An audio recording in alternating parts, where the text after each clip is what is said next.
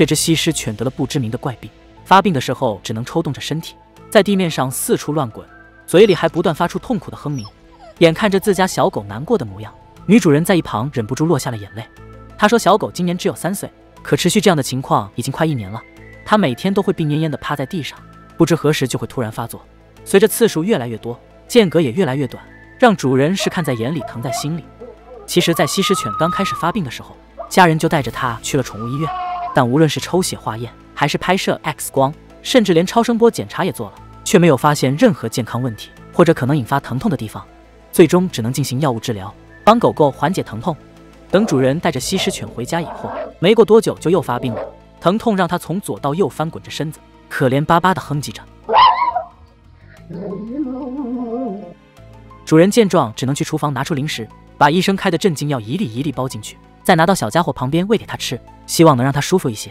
然而吃药也只是一种暂缓的方法，并不能从根本上治好爱宠。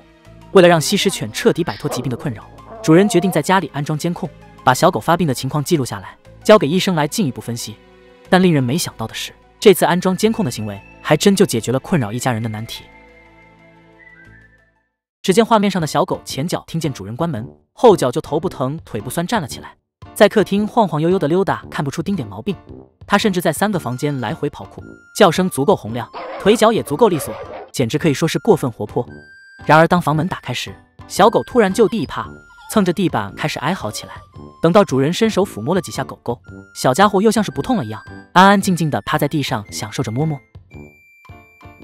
看着西施犬人前人后两副面孔，主人怀疑这家伙压根就没病。于是女主人带着视频重新找了家宠物医院。没想医生看完后直接笑了，并且一口笃定这条狗就是装的。医生说，如果是生病疼痛，正常小狗都会垂下尾巴，但画面中的西施犬只是看上去痛苦，尾巴却高高翘起，摇得很欢，这就说明它并没有哪里不舒服，甚至心情很好。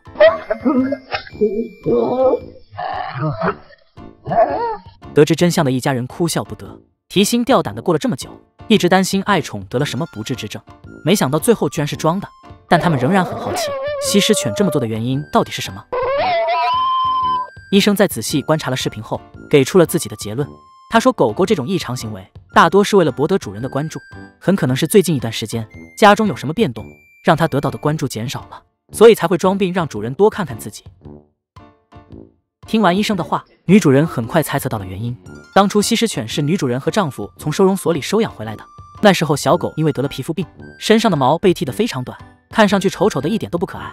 但男主人还是一眼注意到它，并且把小狗带回了家。因为心疼狗狗的遭遇，所以回家后西施犬受到了全家人的欢迎，给了它很多好吃的好玩的，以及无限的宠爱，让狗狗品尝到了被重视的滋味。然而，就在一年前，女主人怀孕了。从那以后，家人对狗狗的关注就减少了。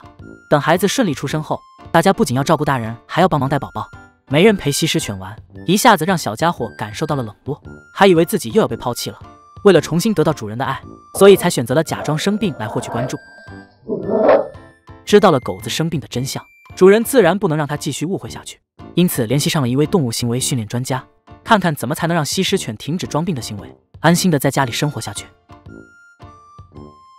这次专家上门后，为了不让自己影响到狗狗的表现，他选择待在屋内，通过查看监控画面，实时指导主人的行为。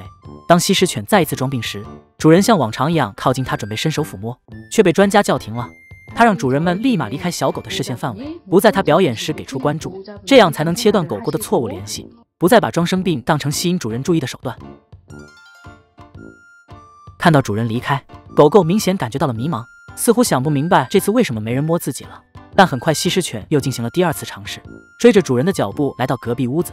这次刚一趴到地上，专家就让所有人撤离房间。这下西施犬也不装了，屁颠屁颠跟在身后。这么反复折腾几次，狗狗终于意识到自己的套路不管用了。但是就在它心灰意冷、老老实实不作妖之后，专家又让主人拿出玩具，陪着小狗一起玩耍。这样就能在改变错误认知的同时，让狗狗知道原来自己不需要装病，也能得到主人的陪伴与宠爱。除此之外专家还嘱托主人多带西施犬外出散步一方面能够缓解狗狗内心的焦虑另一方面也是培养人宠关系的好方法只有让狗狗感受到足够的安全以后才会避免它为了吸引主人注意做出那些奇怪的举动。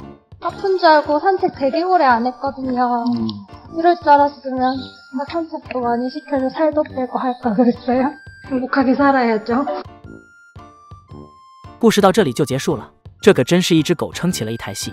为了吸引主人注意，就能装病整整一年。如果不是主人安装了监控，还真让吸食犬的诡计得逞了呢。不过好在狗狗身体没有毛病，希望小家伙以后也能健健康康的，开心的生活在主人身边吧。好了，那么本期视频就到这里。如果你还喜欢的话，请多多关注我的频道，我们下期再见。